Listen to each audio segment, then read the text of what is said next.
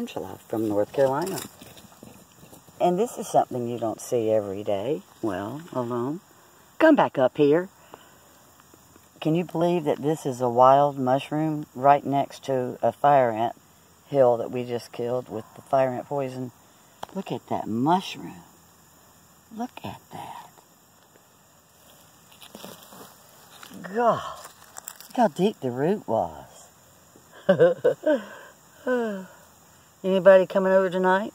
I did need mushrooms for what I'm cooking, but I wasn't planning on using one like this. Come on, guys, let's go up to the house. Come on. Bye-bye, and thanks for watching. Oops, still going.